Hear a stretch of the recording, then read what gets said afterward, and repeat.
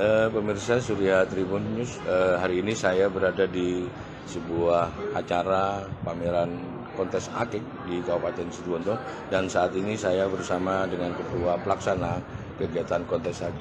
Mas bisa dijelaskan eh, tujuan dari kegiatan kontes akik yang eh, hari ini digelar? Eh, untuk tujuannya pameran dan kontes akik pamor Indonesia ini untuk mengangkat dan mengenalkan batu endemik Situbondo seperti batu Black Titus yang dikenal batu virus Situbondo dan batu endemik Indonesia sendiri seperti batu Sumatera, batu Hokai fosil kayu, batu dari Purbalingga seperti pastel kelawing, batu dari Pulau Madura, Diengan, dan batu dari Sumatera, batu dari Kalimantan, dan NTT.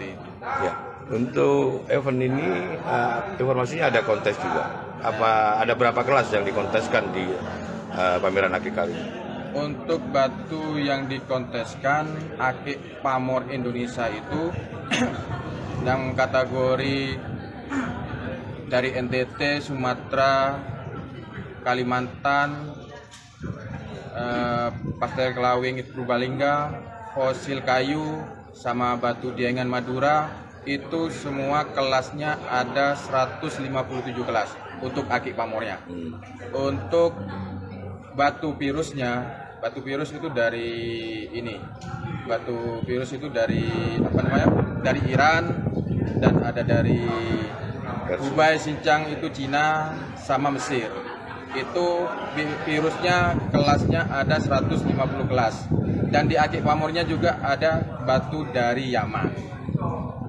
Dari batu Yaman itu Ya. batu virus. Eh, akik selain ini peserta yang ikut pada hari ini yang sudah terdata oleh pihak panitia dari berasal dari mana saja ini? Uh, untuk sementara yang saya lihat itu dari Semenep udah datang, dari Pamekasan datang, dari Sampang sudah datang, dari Bangkalan sebagian datang, dari Surabaya, dari Malang, dari Lumajang, dari Probolinggo, dari Bondowoso, Jember, Banyuwangi, dan yang dari Jawa Tengah itu Cirebon, ada yang dari Solo, dari Kudus dan Jakarta, sama Sebenarnya- ya, Cianjur. Ya, sebenarnya apa sih mas yang menyebabkan eh, apa pe- pencinta akik ini mulai kelihatannya berkurang gitu? Terus solusinya seperti apa ini ke depan? Nah, dulu kan pernah kita masalah aki itu pernah booming Hmm. 2014, 2013, 2014. Nah, dan itu sekedar booming tapi yang benar-benar pecinta batu aki dan virus ya ini yang sekarang ini dan bertahan dan ada kontesnya dan ada juga dipamerkan. Eh, demikian wawancara kami dengan salah satu ketua panitia penyelenggara kontes akik eh, di Situbondo. Ya, inilah eh, lapak-lapak yang dipersiapkan dalam event kontes akik di Situbondo.